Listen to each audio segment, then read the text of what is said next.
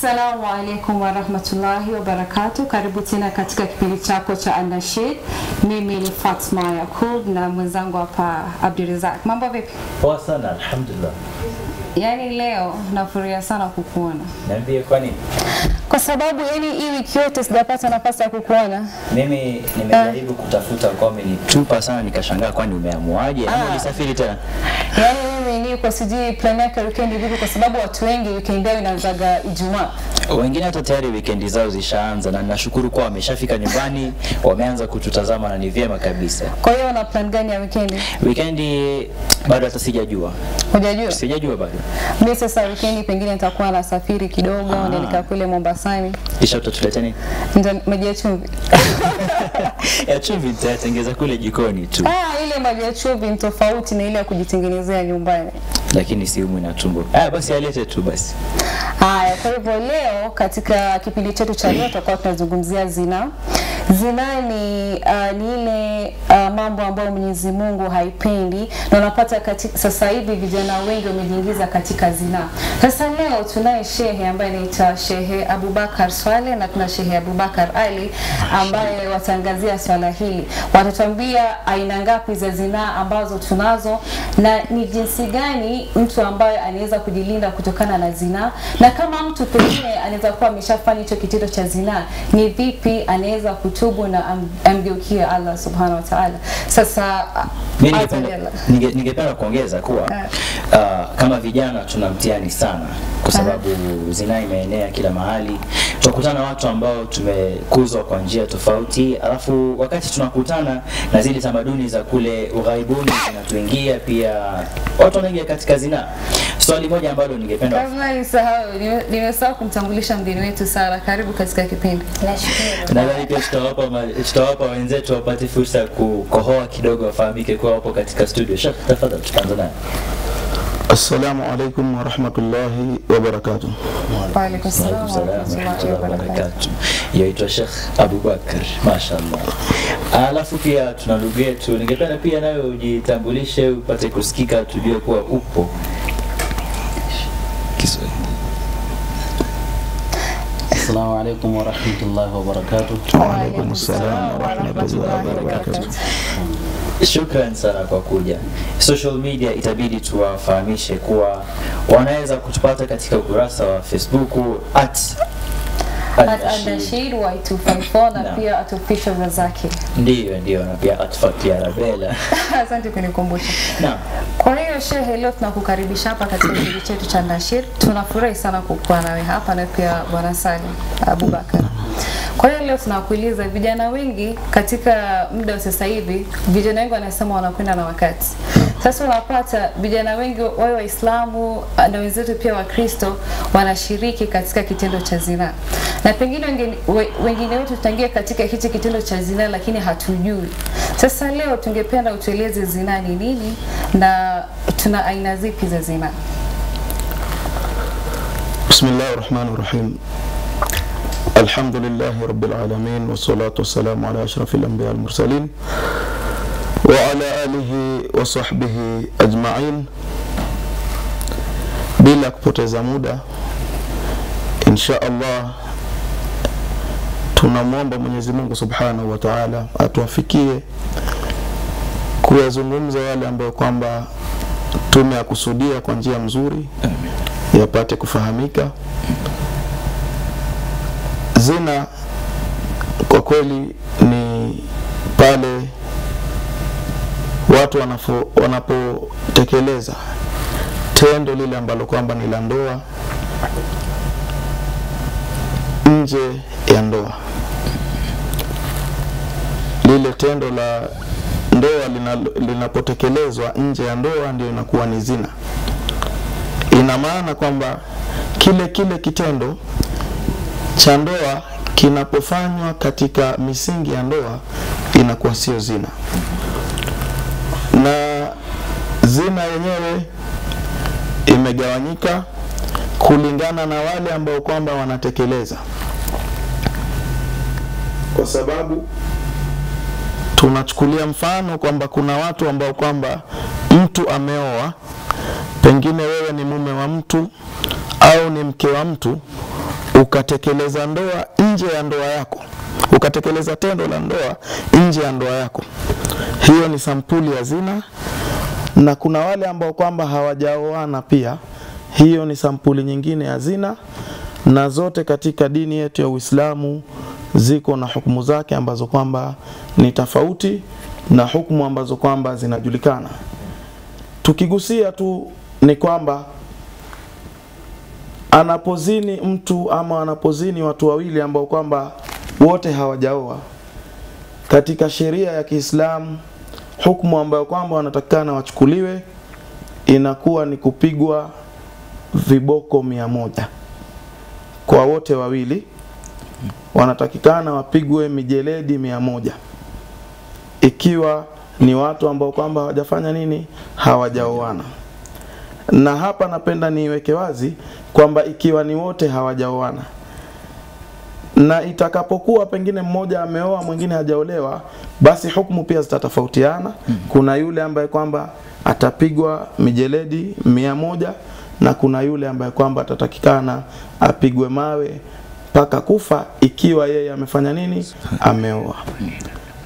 Nafikiri kwa sasa niseme hayo insha Allah, alafu tutaendelea. Ningependa ndugu yangu Abubakar nikurushie swali hili kuwa kuna changamoto nyingi sana kama vijana wapata kuwa tuna rafiki zetu ambazo ambao si Waislamu ambao tukikutana nao katika pitapita zetu ama katika mashughuli, alafu pia wana tamaduni ya kuwa siku hizi salamu imezidi kusalimiana kwa mkono, imekuwa salamu ni kukumbatiana, ndio mojawapo ya mitihani ambayo tunapata. Hivi changamoto hizi umezipata ama unazikwepa kwa njia gani? Alhamdulillahi rabbil alamin wassalatu wassalamu ala rasulillah wa ala alihi wa ashabi ajma'in amma ba'du assalamu alaikum wa rahmatullah marata thania Wa alaikum salam. Waalaikum salam warahmatullahi wabarakatuh. I'm very poor in Kiswahili Ah, vizuri. It's okay, carry on. It's okay. I'm very poor in Kiswahili alhamdulillah the mawdu is very very important considering our contemporary world this world is becoming uh, a very micro micro village. You know, we used to say global village. The globe, the globe is just like a what a small village. Now it's becoming more smaller and closer to us.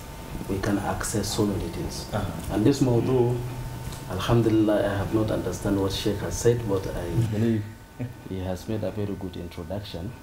And uh, within the time frame, we are going to say something about uh, what zina is and how we can avoid zina from the light of uh, the Islamic perspectives.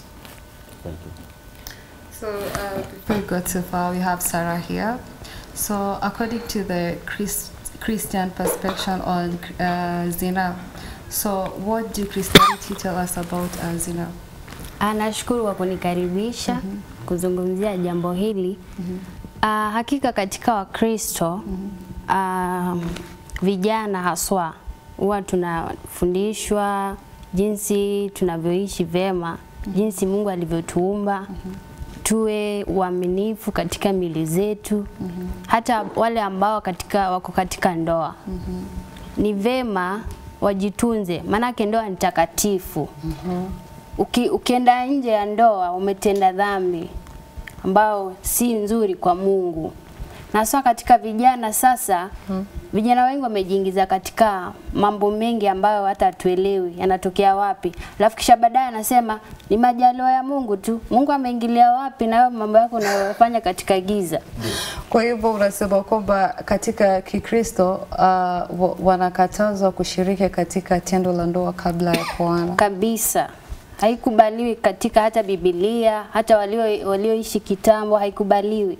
Na hizi campaign ambazo unaona kuna kanisa zingine wanasema safe sex, wanasema tutumie contraceptives. So hiyo hizo kanisa unataka kuniambia kuna kanisa tofauti ambazo pengine zinakubalia kushiriki lakini ikuwe safe ama ni tu Wajua, katika tuseme kwa mfano Kenya sasa uh -huh. inavyoelekea sasa, upata mhubiri anasema ni vizuri, mwenyewe anasema ni vyema tulete hii topic tukaweza kuizungumzia hadharani, ione kama italeta uh, itaweza kusaidia vijana. Lakini wengine wana kwamba hii ukileta katika kanisa tuseme ukileta hivi haitakuwa vyema. Ni heri tu zungumzie mahali penye mtu anaweza haitaleta changamoto mingi sana hasa ukielewa kimawazo. Kwa hiyo- ningependa kukatisha kalima kidogo. Uh, katika huu mkondo wa kuzungumzia kinga kutokana na magonjwa na kinga kutokana na na mimba isiyokusudiwa, Sheikh, ningependa utuarifu mtazamo wako ni upi na hukumu ya Uislamu juu ya kutumia kinga katika kufanya mambo kama yale ya shughuli za ndoa wakati watu wako nje ya ndoa ama hata ndani ya ndoa. Uh, tunapozungumzia masala ya kutumia kinga, nadhani haya ni masala ambayo kwamba ni masala ya kuletwa mm -hmm. na ni masala ya wale ambao kwamba tunawaita ni western Aha. people. na. Haya ni masala ambayo kwamba hayajafungamana na tamaduni na mila za Kiafrika mm -hmm. hayajafungamana na mafundisho ya Kiislamu kwa sababu katika Uislamu kuna njia zile ambazo kwamba zimekubalika kupitia hadithi ambazo kwamba ni za Kiislamu mm -hmm. walivyokuwa wakipanga maswahaba wakipanga uzazi Aha. na njia hiyo ilikuwa sio njia ambayo kwamba ni ya kutumia kinga mm -hmm. bali ni njia ambayo kwamba ndio sunna iliyosisitizwa ni kwamba watu watakapokuwa katika starehe zao zile, kwa sababu watakuwa wameshaelewana kwamba ni mume na mke wameelewana mm -hmm. na wamekubaliana pengine kwa sababu moja na nyingine, hatutaki mtoto pengine kwa muda huu Yeah.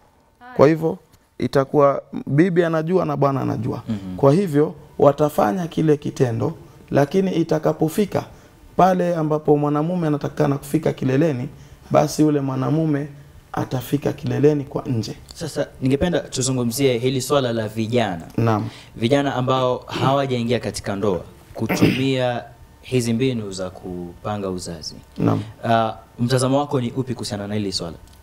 Nadhani katika nadharia yangu ni kwamba masala ya ngono ama masala ya tendo la ndoa kwa vijana ni suala ambalo kwamba halina nafasi kabisa, kwa sababu kila kitu kina wakati wake. Angalia yale madhara ambayo kwamba yanasababishwa pengine na vijana kujiingiza katika matendo kama haya.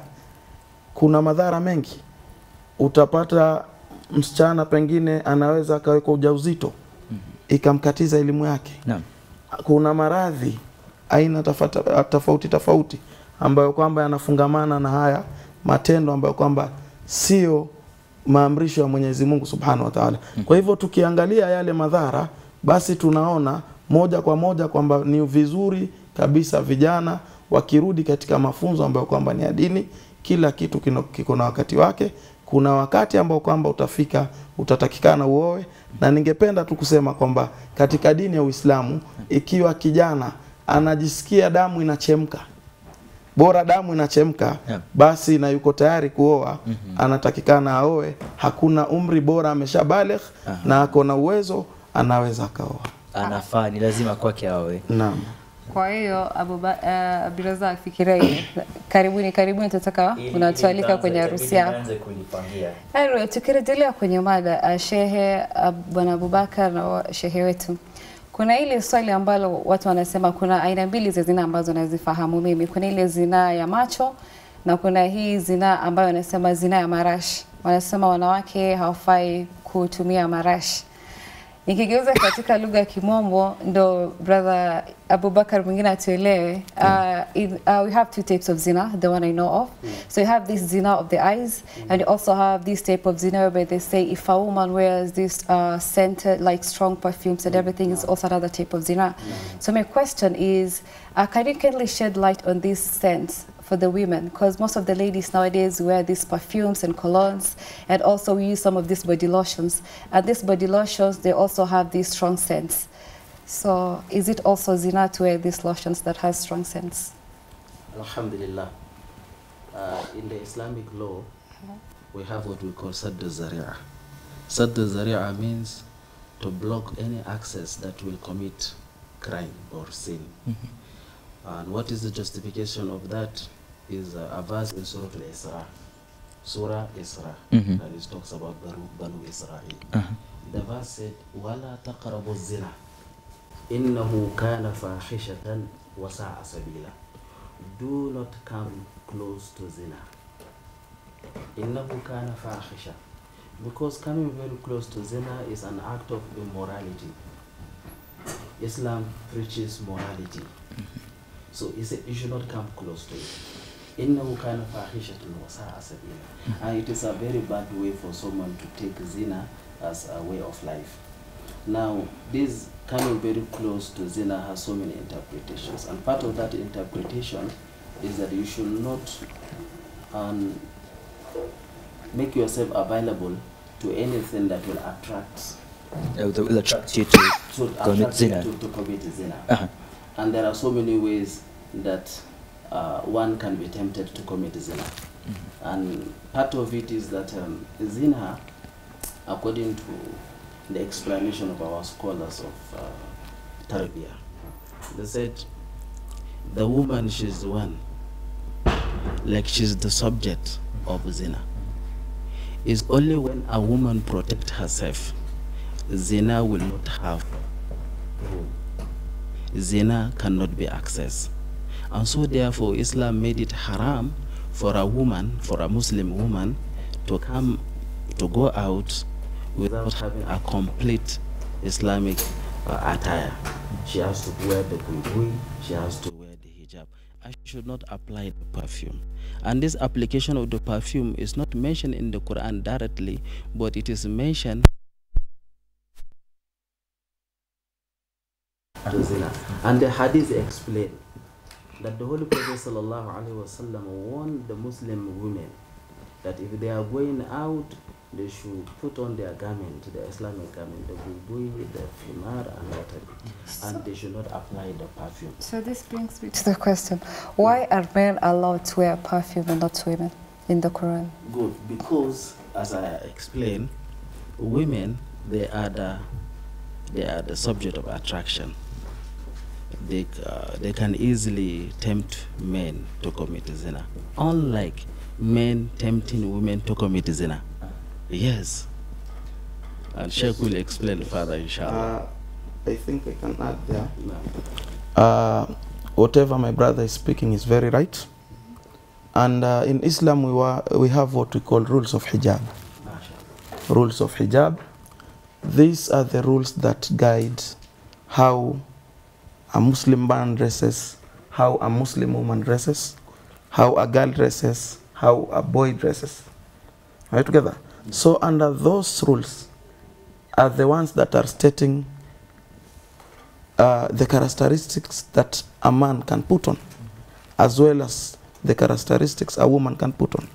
And it is there that you will find that a woman cannot uh, put on transparent dress, a woman cannot put on a very tight, dress, a woman cannot perfume herself, she should not wear what we call knocking shoes. And if you look at all these angles, you will see, as the Sheikh is saying, they are the ones that are making you go close to zina. Uh-huh. Because, let us give this example. We have two women. A woman who is decently dressed, maybe a buibui and hijab and normal shoes. She's walking, no perfume, no, no nothing. And there's another one who has buibui and hijab, but maybe she's work, uh, uh, putting on knocking shoes and perfume. And perfume. They Are together? Of. Once the first woman, when she passes by, no one will notice. Uh-huh, yeah. But the second one, even if the, the shoes are not knocking, but the perfume Perfume, yeah. will attract. Yeah. But And- remember, Sheikh, you also said that uh, we have this zina of the eyes. Zina of the eyes, it has Yes. nothing to do with perfumes. Mhm. So what about this zina of the eyes? How do men control this zina of the eyes? I think uh, when we go to that, I think Allah subhanahu wa ta'ala has made it very, very clear in the Holy Quran that tell the believing men to lower their gazes and tell the believing women also to lower their gazes. So there is no bias there. Both parties here, either men or female, should lower their gazes. And Yeah. to add on to what you've said, um, there is a Sahaba, I do not remember his name.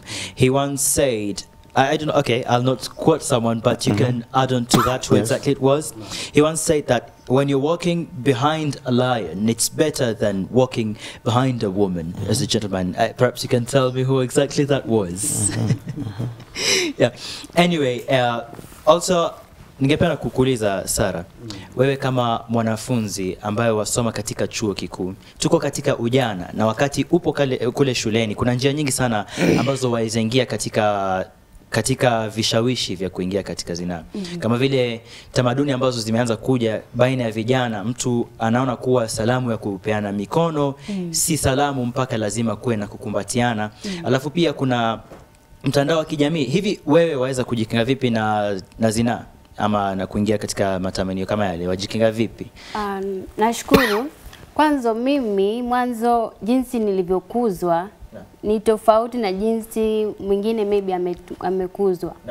Kwa mfano mie penye nilikuzwa sikuwahi kufundishwa eti ukumbatie mtu unavyompata. No. Yaani kwa mfano kijana wamkumbatia ni rafiki, eh, vipi wasemaje? No. Namkumbatia vipi jamani? Na huyu ni kijana au msichana. mm -hmm. Wanamkumbatia kifua yako iko kwake, si vizuri. no. Sasa mie naweza sema copycats. Kuna hivi vipindi ambavyo tunavyoziwatch hapa soaps, soap opera. aha. So na, yale ma, ma, ma, maisha ambao wale watu wanayowafanya si ya kweli. Maanake ni ya kushoot, ya kuact. So unapata vijana wengi wameiga ule mtindo. Naam. Sasa ambapo inaleta shida katika shule mm -hmm. vyuo vingi. Sasa unapata mtu anasema ah, naenda kulewa, naenda kufanya hivi, hivi vyote zinaenda kumleta kumshawishi aweze kuingiza katika mambo ya zinaa. Nafurahi kuwa umetaja kulewa. Kwa hivyo ningependa nikuulize uh, kuhusiana na kulewa na anasa ambazo wanazifanya vijana na sehemu ambazo wanaamiliana, ziwe labda shuleni ama njiani ama katika sehemu kama sehemu ambazo wameenda kuburudika. Hivi unatoa wasia gani kwa vijana kama jinsi ya kujikinga na kutenda kitendo cha zinaa ama kukaribia zinaa? Mwanzo kama Mkristo, mi ningependa kusema kwa wenzangu ambao wako vioni mm -hmm. jinsi walivyofundishwa katika dini, masomo yale ya dini wasiyapuuze. mm -hmm. Manake Mungu hupitia katika shehe, wapasta wa, wa, wa pasta, mafadha, masista hupitia katika hao watu ili waweze kukufundisha ni nini Mungu wasua anataka katika maisha yako. Kwa mfano akisema hivi, fuatilia. Maanake unaweza pata vijana wengi wanasema wanafuatilia, hao wako kanisani wanaimba vizuri, wakitoka huko. Ah, kwa giza ujua anafanya nini, wao na Mungu peke yake. So ningependa tu kuwahimiza wafuatilie kabisa, maanake hiyo ni maisha yako na Mungu wako aliyekuumba akasema uwe mwaminifu jinsi nilivyo. You be holy the way I am because you are a God. I created you to be holy. Ufuate maagizo. Lakini hapo inaleta kwa sali fulani hapo ambapo Sara anasema hugging is not allowed, handshaking is not allowed. Kuna hadith fulani nimeisoma inasema uh, um, sallallahu alaihi wasallam anasema unapomsalimia mtu Muislamu mwenzako akamwambia asalamu alaikum, ni vizuri umwambie asalamu alaikum, mshika mkono. Hiyo inakubalika? Uh, nafikiri uh, dadangu hapo amechanganya mambo. Nafikiri ni wewe unapomsalimia huyu dada Eh, mpe mkono kwa sababu jinsia zenu ni moja, hakuna madhara, lakini sio wewe kumsalimia mwanamume. Wanasema kwa sababu hadithi ambayo kwamba imepokewa ambayo kwamba ni sahihi Mtume Muhammad sallallahu alaihi wasallam amesema inni la usafihu nisa, mimi siwapatii wanawake mikono. uh -huh. Na ukichunguza mafunzo yake ni nini? Kwa sababu mwanadamu ama mwanamume ameumbwa tofauti.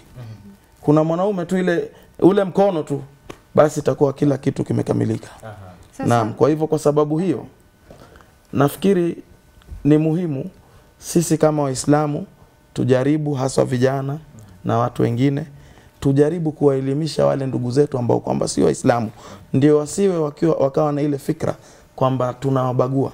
Maanake mara nyingi mtu anapokupa mkono na wewe utaki kumpa, mara nyingi kunakuwa na ile fikra kwamba huyu pengine anajiona ni bora ama ni nini, lakini ukikaa katika msimamo kama mimi ni shekhe alhamdulillah, na nakutana katika mikutano na watu wengi.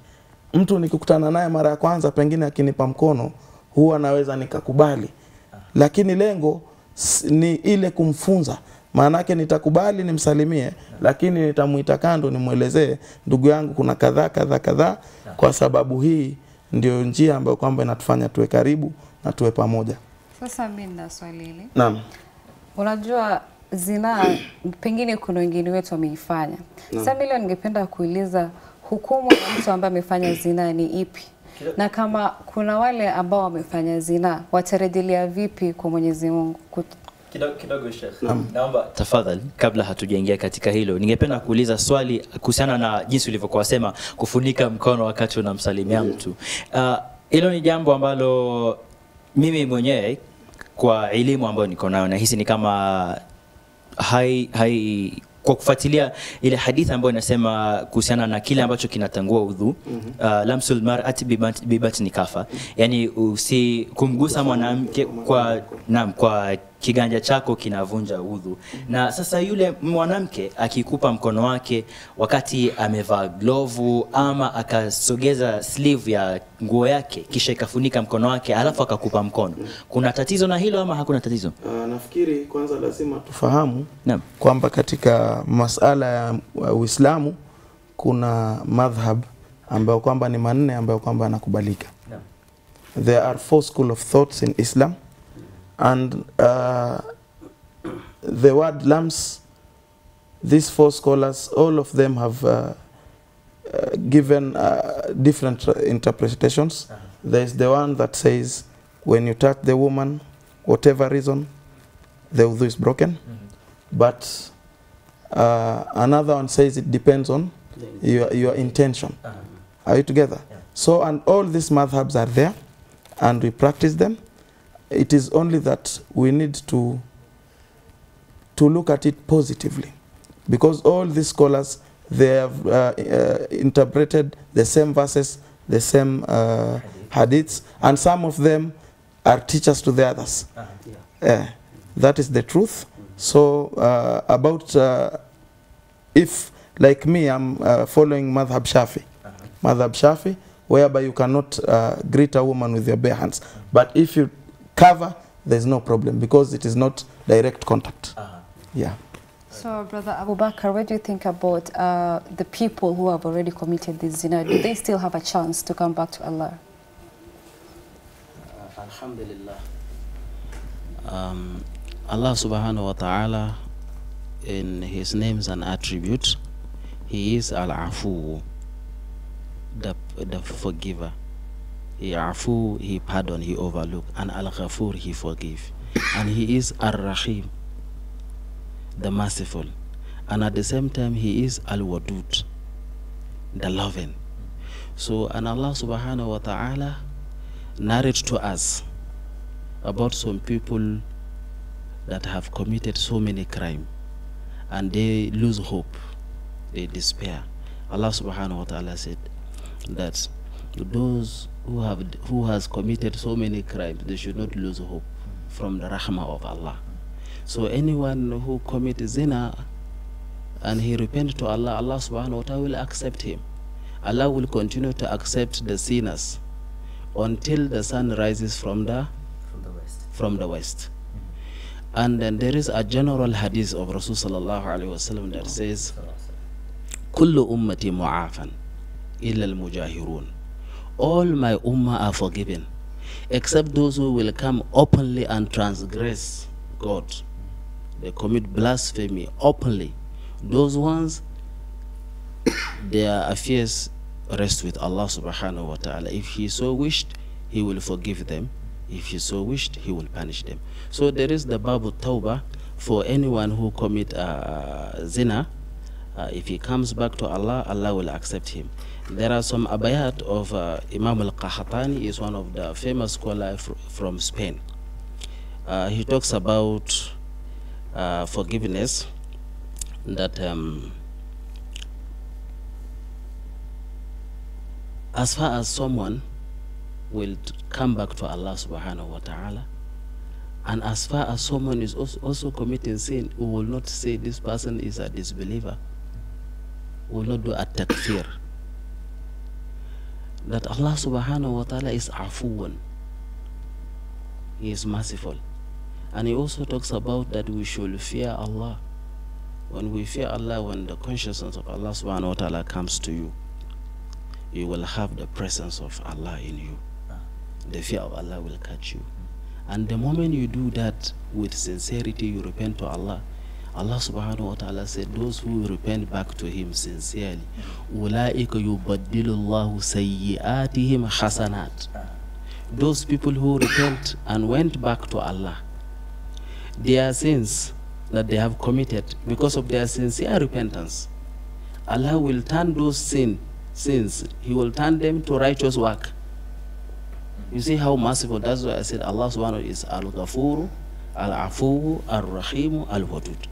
Al Rahimu, Al Wadud. Uh, sorry to interrupt a little bit. I'd like to ask you about uh, when we started for it. Uh, Sheikh Abu Bakr mentioned that uh, for those people who have committed the act of zina and this person is married, they will be punished by being stoned to death. Now, where is the door of forgiveness for such a person who's been stoned to death? MashaAllah. According to Islamic law, uh, once you have committed a crime and you have evidences that has proven that you have committed this crime, that law will be executed. That one is very clear about laws. But in a situation whereby someone has committed zina and he was not caught, then that person should go back to Allah and repent and Allah will forgive him. And um, the Prophet sallallahu alaihi wasallam hate someone to commit something without in uh, behind the curtain and he will come and say i have done this. Someone committed zina and he came to the prophet wasallam that i have committed zina. And the holy prophet turned his face. He come to this side. He said are you are you are you mad? Are you lunatic? Allah has covered you and you are coming to expose yourself. So and for in sharia you cannot quote someone as a, a zani except you have four witnesses. So, uh, catching um, uh, a, a, a zani in Islam is the most difficult offense that someone will be will be caught because you must have four witnesses, and those four witnesses they must witness the act of zina without any doubt. Sure, sure. Uh, would I be right if I said that the person who's been stoned, the married person who's been stoned to death, as punishment for zina, uh, is the punishment a way that they get expiation from their sins, or how exactly is it? Is that correct, really? Yeah. That is the act of expiation. Uh, because uh, I recall uh, one woman came to the Prophet sallallahu alaihi wasallam, and she said to the Prophet that I have committed zina, and have uh, become pregnant as a result of the zina. Are you together? So the Prophet wasallam said to this woman, "Go and give birth, and then come back." The woman went. She went. She gave birth. She came back to the Prophet. She said, "I've given birth." The Prophet said, "Okay, go and breastfeed your child."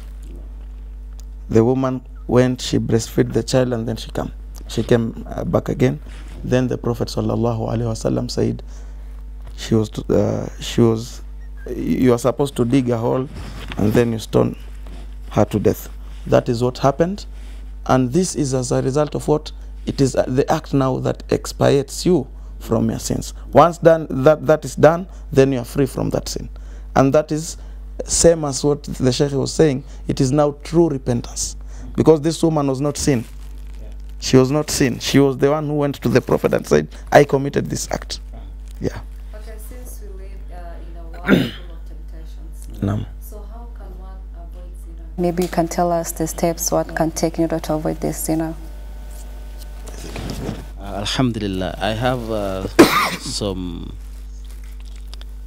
some ways, almost eleven of them, that one can follow, inshallah, to avoid zina, and will keep away from zina. Uh, one of it is al khawf min Allah, is to fear Allah subhanahu wa ta'ala. And the fear of Allah subhanahu wa ta'ala opens the gate of rahmah, open even the gate of success in life. If you are having problems in your life, if you fear Allah and do istighfar, Allah subhanahu wa ta'ala will open your way too. So this khawf number one is very important. Number two, ma'rifatu tamma bi khuturat al-fakhisha. You have to understand the the consequences of zina. Allah subhanahu wa ta'ala will punish someone who is committing zina. And there is another consequences that one will, will encounter when he commits zina. He will, he will live in shame. People will not uh, Trusters, he will, he, will, he will feel guilty. He will feel that he is impure. So that one also, if you have that consequences of zina, that you will be like uh, maybe stigmatized among your your people, it will make you to keep away from zina. And number three, you have to also understand that if you commit zina, you have taken a debt. If you did not repent, mm-hmm. because a zina dainu zina is a debt Come out to kama tudinu tudan mm-hmm. as you do so shall it be done unto you they said even if you do zina with the wall of your neighbor one day your own wall will also be a victim of zina so if you know this that zina is a very young boy came to the prophet wasallam asking him to permit him to commit zina. Then the Prophet ﷺ, uh, put his hand, is it on his shoulder or on his chest? He said, My son, will you accept your daughter? You mentioned your mother, your aunt, your daughter, your sister to commit someone to commit zina with her? He said, No. Then why do you want to commit zina with the mother, the sister, the daughter of others? so he was uh, rebuked and he, he, he said from that moment i hate zina to the core. Now understanding that if you do zina with others it will be done to you. It will make you to keep away from zina because you'll be jealous for someone to commit zina with your own relatives. And number four if you commit zina it can also lead to the, the brightness of your face will go away holiness, that brightness, uh-huh. you will look downcast. If you know that one, you will also not commit zina. And number five, Gaddul Basar, you have to lower your gaze. Number six, Al Bughdu an al Ikhtalat wal Khalwati bil Ajanabiya. You have to also keep away from interaction with opposite sex, mixing up. Uh-huh. And that is why you see we have maintained this culture in our gatherings, the Muslim culture. We have maintained this when we are having gathering. Is it Salah? We have the upper side where women will uh, follow the Jama'ah. And the lower side where the men will follow. And I also believe we have the same teaching from the, my Christians brothers, inshallah. Before, I give you an opportunity to carry on with that, so I, I think this is a very important No. point to say that uh, secluding women from men interacting freely at the areas of worship and also uh, in in every other part where Muslim men and women can get to meet each other, uh, secluding them from uh, from each other is also a way to make sure that we maintain the standards of morality and we it's not it's not at all a way of oppression of women and it's not at all. It's just because uh, we respect our women so much and that's why we have those rules. Uh, ningependa kwenda upande wako sasa sara kama kijana wa kikristo na kwa sababu pia show hii inatazamwa na watu ambao ni waislamu na pia wasiokuwa waislamu ningependa kwa manufaa ya watazamaji wote utufahamishe kuna jinsi gani za vijana wote kwa jumla kujikinga na zinaa Kwa mfano ama vijana wote ambao wanatazama huku wangeweza kujiepusha na mambo ya zina kama uh, kwa mfano umefuata dini mwanzo. Umjue Mungu umwogope Mungu mwanzo kama alivyokuumba. Kisha ukishamfuata kama sisi wa Kristo tunasema ujifunike na damu ya Yesu. Au pitia Jesus to be forgiven. Kwa mfano kama kijana umefanya dhambi, umeona hii kweli nimeifanya, lakini nitafanyaje nirudi kwa Mungu? Sasa ni ile unajikiri, una, you acknowledge your sins and then you tell God to purify you, to make you a new thing. From there unaweza kuwa una ujiavoid. Uh, kwa mfano ujiepushe na yale mambo yanaweza kufanya. Kama ni ya kulewa, kama ni rafiki anaweza kufanya huyu rafiki anifanye nilewe, ah, siwezi tangamana naye, nenda zangu. Kama ni kuachana, mwachana naye, maanake unataka maisha bora. Sasa tuko katika ile wakati wa lala salama, kila mtu atakuwa na fursa yake. Shehe atatuambia mambo yake ya mwisho, brother Ibra, Abubakar na pia Sara. Lakini nakuuliza, tuna comments kwenye Facebook. Ndio, ndio tuna comments kwenye Facebook. Naona ndugu yetu kwa jina Iman James ametuma message akiuliza swali ni nini. Nadhani kwa ile post ya kwanza ambayo tulikuwa tumeweka kuhusiana na topic ya leo ambayo umesema uh, tunazungumzia zinaa. Kwa hivyo ni kama alipost mida ya dakika 30 iliyopita. Alafu pia tukiangalia katika posti ambayo tulikuwa tunazungumzia mada ya wiki iliyopita, uh, ningependa kusoma kutoka kwa uh, naona anasema anaitwa Abdul Qadir Tsumo anasema mavazi sio mavazi tu katika dini ya Kiislamu bali tumefunzwa na mtume wetu jinsi ya kuvaa ili tu, tuepukane na matamanio ya nafsi zetu ndiyo zinaa isiwe ya kukithiri na kumkosea Allah. Ni comment ambayo ameituma Abdukadir Tsumo kuhusiana na mada ambayo tulikuwa nayo wiki iliyopita. Naam, alafu ndio basi tu katika ukurasa wetu wa Facebook, japo naona kidogo mtandao wazingua, uh, ndizo ambazo zimeweza kutufikia, zingine hazifunguki, lakini inshallah tukipata wiki ijayo tutakuwa wenye kuzisoma inshallah. kama tunaenda kumaliza kipindi, ningependa Abu, brother Abubakar atupe maoni yake ya mwisho kwa wale watazamaji ambao wanatuona pale nyumbani, na pia Shehe atupe yake ya mwisho, kisha Sara. Now we'll start with you Abubakar. What's your last one? Very very briefly. Uh, my last word that we, we, we have to be God conscious and we have to manage the, the, the, the innovation, the contemporary innovation. We have to manage it and we have to be also very conscious of our religion. Sheikh. Uh, nafikiri mimi kwa kumalizia nitasema tu kwamba Allah subhanahu wa ta'ala alipoumba mwanzo alimuumba Adam na akamuumba Hawa na kulikuwa na malaika kule na ikaulizwa malaika ama malaika akauliza kwa nini unaumba katika ardhi? Watu ambao kwamba watakwenda kufanya ufisadi watakwenda kumwaga damu na mambo kama haya. Allah subhanahu wa ta'ala aliwaambia wale kwamba yeye anajua yale ambayo kwamba wao hawajui. Kwa nini akamuumba Hawa na Adam? Ni kwa sababu Allah subhanahu wa ta'ala alitaka kizazi kiwe ni chenye kuendelea lakini kizazi hiki kinatakikana kuendelea katika njia zile ambazo kwamba ni sahihi na njia zenyewe ni njia ambazo kwamba ni za ndoa na Uislamu unatambua hata ndoa za Kikristo maadamu ni ndoa Uislamu unatambua hata ndoa za Kikristo na ndio maana hata ikitokea kwamba Wakristo wawili ambao kwamba wameoana wakisilimu wote hawafungishwi ndoa nyingine katika Uislamu. Nafikiri yangu ni hayo. Mambo yako ya mwisho, parting shots. Uh, mambo yangu ya mwisho kwa watu wote ambao wanatazama huku, wamwogope Mungu zaidi, wajiheshimu na wapende wenzio. Ukipenda mwenzio huwezi fanya zina kabisa. Haya, sasa imenifikia mimi, ningependa kusema kwa wale wanatutazama nyumbani, nimefurahia sana kuwa na brother Abubakar na pia shehe wetu hapa, na pia ningependa tujifunze mawili matatu kwamba ndiyo tunaishi katika ile dunia ambayo sasa hivi ni temptation kwa kila mahali, lakini pia ningependa kusema kabla ufanye ile jambo, mtaje tu Mwenyezi Mungu, mwambie tu Allah. Unajua pale unapomtaja Mwenyezi Mungu una, unaingiliwa na ile uoga Unapiga breki.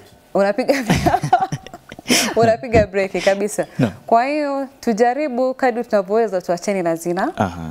Na tujaribu kuishi katika yani, kuna wale marafiki ambao tumesahau kuwataja, kuna zile peer pressure. Aha. So unaona marafiki zako wanafanya hivi na wewe unataka kufanya, so tujitenge na wale marafiki, tujiunge na wale marafiki ambao wanatuleta katika njia iliyonyooka. Ni hayo tu. Mwisho kabisa, ningependa kumkumbusha yule mtazamaji ambaye amekuja kwa kuchelewa na akapata tukiwa tumalizia ama tukiwa katikati, akumbuke pia kutufata katika mtandao wa YouTube, aangalie show ambayo tutakuwa baadaye tumeidondosha pale, ili upate manufaa ambayo tumeyapata hapa kutokana na wageni wetu Sheikh Abubakar, ndugu ya Abubakar na pia Sara. Naam, ni hayo tu.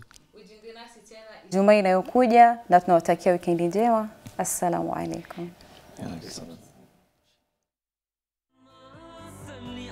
اللهم صل على سيدي أتقبلهم الناس لست